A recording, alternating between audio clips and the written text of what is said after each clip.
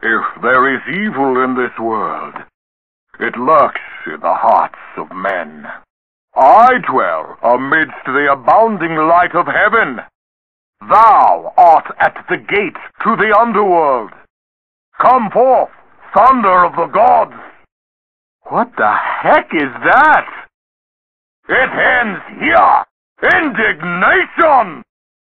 It can't be. Foolish. Is that all you got? Oh!